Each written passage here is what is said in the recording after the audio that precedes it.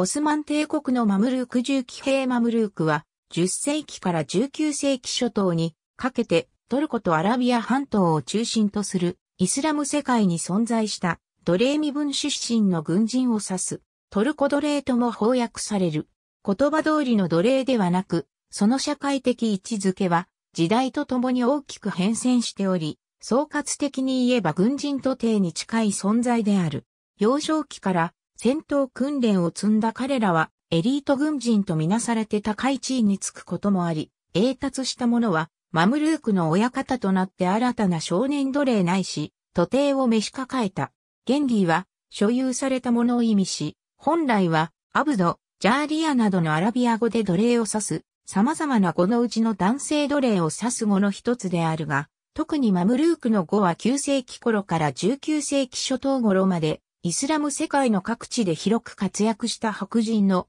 奴隷身分出身の軍人たちを指すのが普通である。イスラム世界において白人とは黒人の純粋な対義語であり、サハラ以南のアフリカのネグロイドを除くユーラシアアフリカ大陸に住んでいた人種がおおむね白人と考えられていた。軍人として活躍したマムルークの出自は、おおよそがキプチャクなどのトゥルク系民族あるいはチェルケス、ジンなどのカフカス系民族であったが、モンゴル人、クルド人、アルメニア人、ギリシャ人、スラブ人等の民族も含まれた。マムルークは多くが幼少の頃から乗馬に親しんでいる騎馬民族の出身で、また幼少のうちに購入されて乗馬、厩舎、操術などの徹底した訓練を受けて、厩舎を得意とする騎兵のエリート軍人として育成された。彼らはその優れた軍事力で13世紀から16世紀初頭までエジプトシリアを支配したマムルーク朝では事実上の支配階層であった。マムルークマムルークの肖像行為のマムルークイスラム世界においては、シャリアによって奴隷の法的身分に関する規定が明確化されており、彼らは所有者によって自由に売買、贈与されることができ、結婚の自由、財産を蓄える、権利、公職に就く資格などを法的に制限されていたが、債務不履行や親による売却によって、イスラム社会の自由人をむやみに奴隷とすることは禁じられ、信仰の自由を与えられるなど、人間としての一定の権利を認められる存在であった。特に最後の規定により、生まれながらの奴隷を除いては、奴隷の獲得は異教徒に対する戦争において、捕虜としたものを奴隷とすることしか認められなくなった。また、奴隷を解放することは、最後の審判の後天国に迎えられるために望ましい、善行とみなされていたので非常に積極的に行われ、奴隷は解放によって、社会身分上は自由人に全く劣らない資格を獲得することができた。しかし、解放されても奴隷は、生まれながらのイスラム社会の成員ではなかったので、社会的に力のある者に保護されることが必要であり、必然的に元所有者との間に保護、非保護の関係が結ばれ、一種の主従として関係が存続する社会的な制度が存在した。このような元奴隷の非保護者のことをマワーリーという。イスラム以前のアラブ社会では、奴隷はもっぱら家内奴隷であったが、マワーリーの制度によって富裕な有力者は盛んに奴隷を購入し、平時には子飼いの商人、戦時には兵士として動員することができる非保護者を増やして力を蓄えた。イスラム化以降も同様であり、奴隷や捕虜が有力者の私的な軍事力に利用される。観光は維持された。上で触れたように、イスラムの規定は、新たな奴隷の獲得を事実上戦争捕虜に限定していたが、このため預言者、ムハンマド死後のアラブの大征服の時代を経て、イスラム共同体の拡大が止まった時、わずかな戦争捕虜の解放に対して、奴隷の供給が不足することは明らかである。こうして、イスラム社会は、イスラム帝国外部からの奴隷の獲得に依存するようになる。もともとイスラム以前から、アビシニア出身の黒人が奴隷として、アラブ社会には多く流入していたが、アッバス朝の頃になると、残樹と呼ばれた東アフリカ出身者、サカーリバと呼ばれた東ヨーロッパのスラブ人などが購入された。さらに、ムスリム勢力が中央アジアに安定支配を築いたアッバース朝の時代になると、アトラークと呼ばれるトゥールク系の遊牧民たちが奴隷としてイスラム世界にもたらせるようになる。アッバス朝は彼らトゥルク系の奴隷を数多く購入して、それまでの主力であったアラブ人やペルシア人マーリーの軍事力を代替するようになり始めた。通説によれば、このようなトゥルク系マムルークを初めて大々的に編成したのは9世紀初頭のアッバース朝のカリフ、ムータスイムの時代で、ムータスイムは即位の前から数千人のマムルークを紙幣として所有していたと言われる。当時はグラームとも呼ばれたマムルークの本格的な導入によってイスラム社会の軍隊の構成は劇的に変化し、アラブ人やマワーリーの軍団は姿を消すこととなった。やがて彼らの故障として男性奴隷を意味するマムルークの語が定着し、マムルークといえばトゥルク系の遊牧民出身者を中心とする騎兵の奴隷軍事力を指すようになり始める。マムルークの多くは遊牧民の出身で幼い頃から乗馬に慣れ親しんでいたので記者に優れており、また素朴で忠誠心が深いことから支配者によって盛んに登用されることとなった。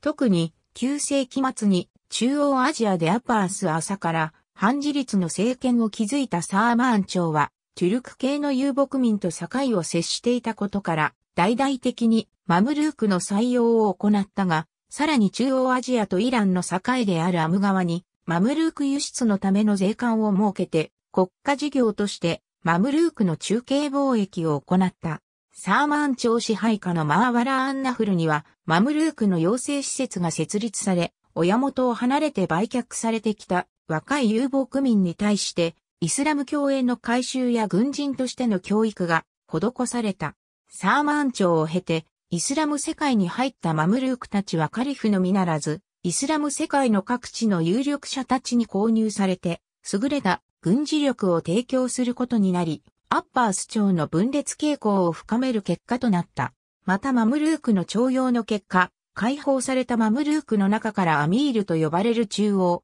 地方の軍司令官に上った有力者の間から、地方で自立の政権を形成したり、中央でカリフに代わって政権を握る者すら現れた。9世紀後半にエジプトでアッパース朝から自立したトゥールーン朝、10世紀後半にアフガニスタンでサーマーン朝から自立したガズナーサはいずれもマムルーク出身のアミールによって樹立された政権であり、10世紀中頃にアッバス朝のとバグダードで権力を握るマムルークのアミールを倒してカリフの保護権を掌握したブワイフ朝も軍事力としてはマムルークに多くを依存していた。ブワイフ朝を滅ぼして、イスラム世界の中央部を広く支配したセルジューク朝は、トゥルクマーンと呼ばれるマムルークとしてではなく部族組織を保ったままイスラム世界にやってきたトゥルク系の遊牧民の出身で、王朝の建設においても部族組織に裏付けられた遊牧民の軍事力に支えられていたが、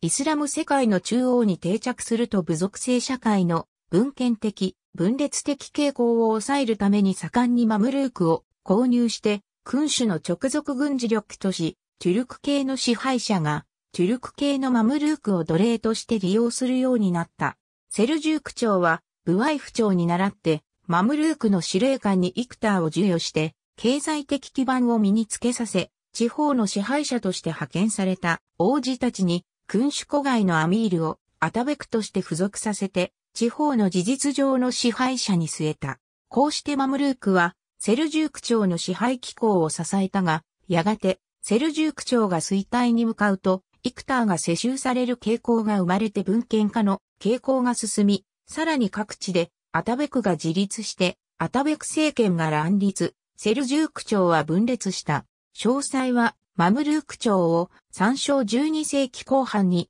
エジプトを支配するファーティマ朝を乗っ取って、アイユー部長を建てた。クルド人の軍人、サラーフッティーンは、ファーティマ朝の兵士に代わって、自身の子飼いの兵士からなる信頼できる軍隊を編成するために、クルド人やマムルークを集めて、大規模な騎兵軍団を編成した。サラーフッティーンのマムルークが十字軍との戦いで、果たした役割は大きい。マムルークの攻撃によるトリポリの陥落、1289、サラーフッティーンの死後、アイユー部長は彼の書士、小弟の支配する多くの政権に分かれることとなるが、その中で主導的な役割を果たしたのは、常に経済的に豊かなエジプトを支配し、その財力によって強力なマムルーク軍団を編成していたカイロの支配者であった。13世紀半ばにエジプトのスルターンであったサーリフは自身の購入したトゥルク系のマムルークをカイロ郊外のナイル川の中州に作った兵営に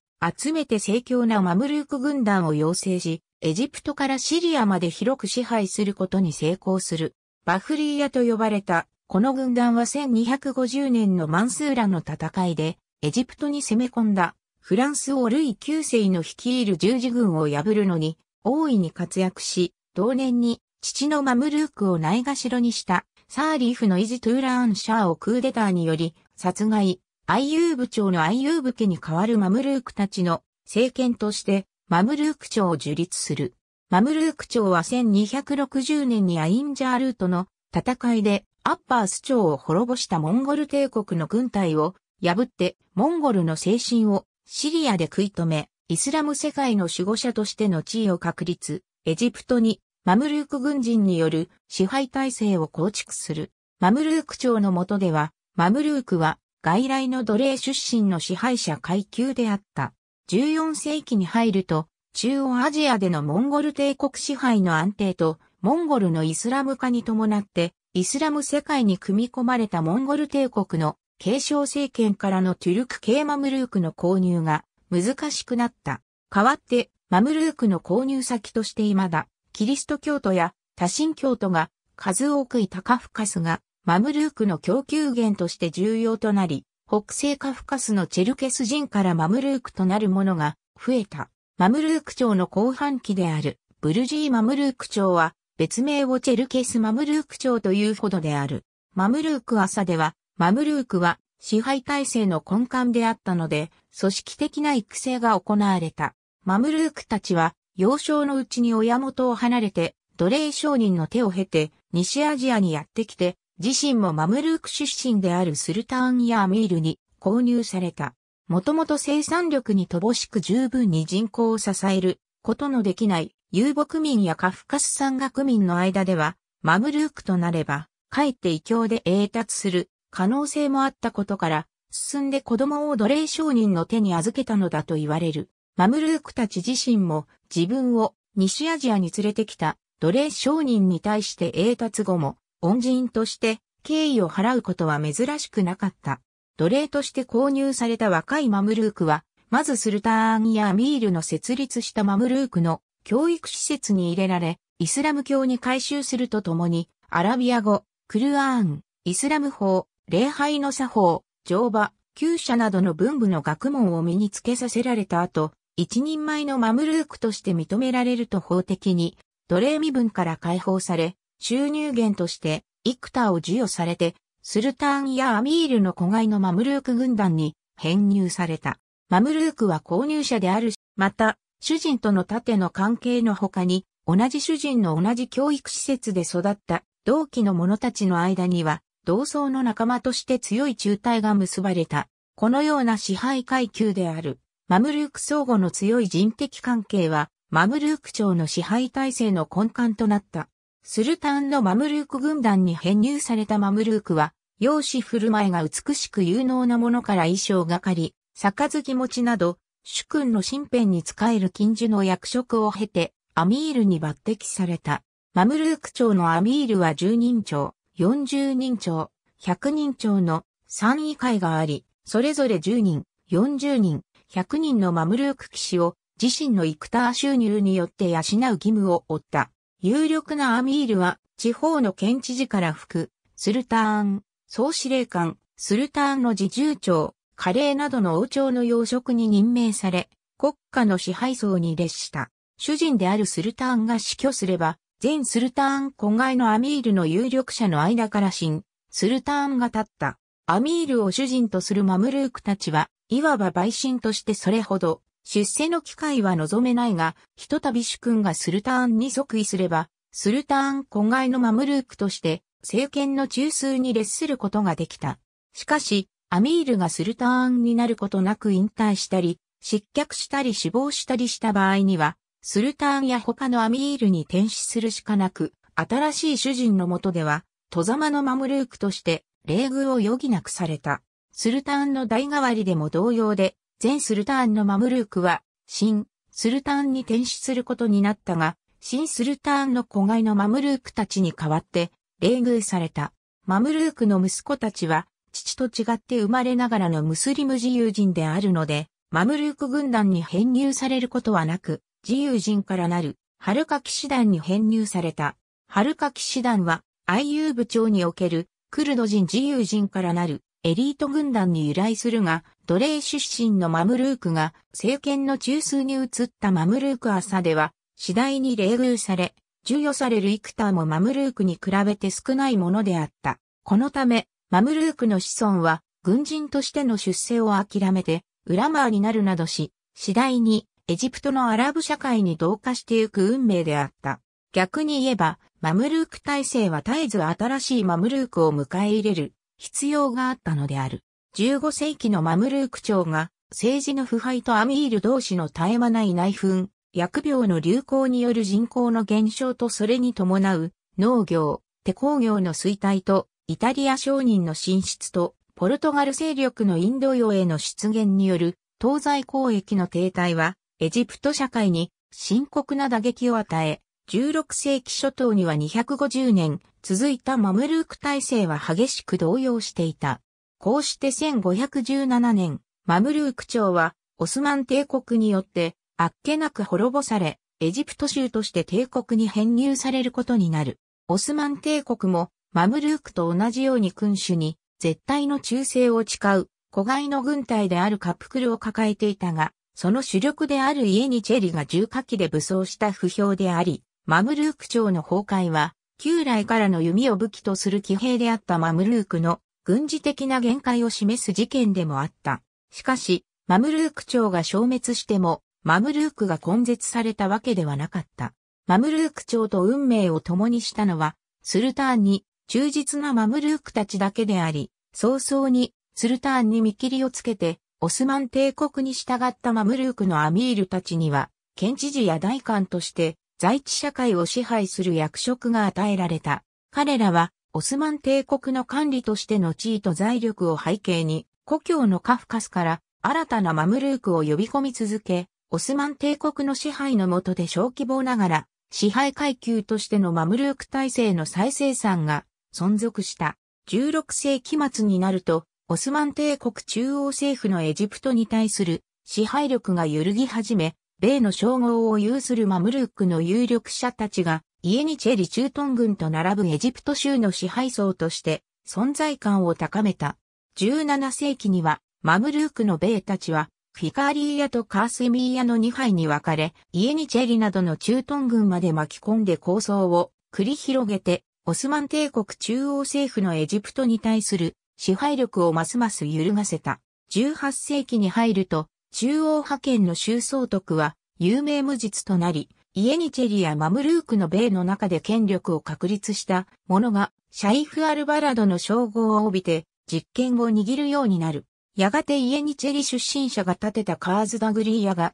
党派構想の勝利者となり、シャイフ・アルバラドを独占するようになった。1758年にシャイフ・アルバラドに就任したカーズ・ダグリーヤ所属のグルジア系マムルーク、アリー・ベイは自身の子飼いのマムルークを要請して軍事力を高めて家にチェリを弾圧、エジプトの全土を自ハマムルークの支配下に組み入れ、カーズ・ラグリーヤ系のマムルークによるエジプト支配が完成する。さらにアリー・ベイは1768年に始まるロト戦争でロシアにこうして公然とオスマン帝国に反抗し、1770年にシリアへと侵攻、ダマスカスを占領した。アリー・ベイは1772年には、配下のアブーイコールアイコールザハブに倒され、アブーイコールアイコールザハブも1775年に病死したため、1786年になって、オスマン帝国は大宰相ガーズイー・ハサン・パシャを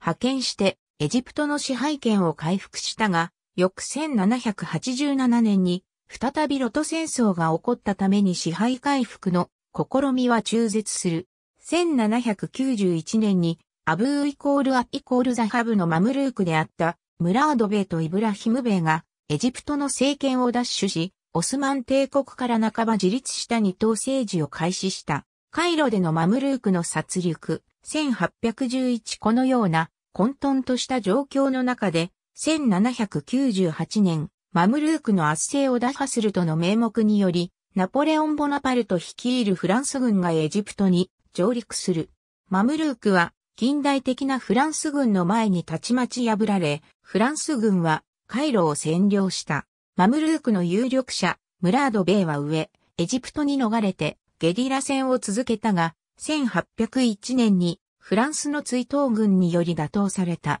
しかし、同年にフランス軍はオスマン帝国とイギリスの連合軍によって打ち破られ、撤退する。こうしてエジプトは新しくやってきた、オスマン帝国の中流軍と混乱を生き延びた、マムルークの兵たち、そして彼らに肩入れする帝国の中央政府やイギリスなど外国勢力の思惑によって混沌とした情勢となった。こうした状況の中で頭角を現したアルバニア人の傭兵隊長、ムハンマド・アリーは1805年にカイロの民衆の指示を受けてマムルークの米を追放し、エジプト州総督に就任する。ムハンマド・アリーは権力を掌握すると、エジプトの近代化に乗り出すが、そのためには、旧支配勢力であるマムルークによる、旧体依然とした支配体制と軍事力の払拭が必要であった。ムハンマド・アリーは1811年に、マムルークの討滅を決意し、24人のベイに率いられた500人のマムルークをカイロの城塞で行われる式典に招いてその帰路に待ち伏せさせたアルバニア人部隊によって皆殺しにさせた。米を失ったマムルークの支配体制はこれによって崩壊し二度と復活することはなかった。ありがとうございます。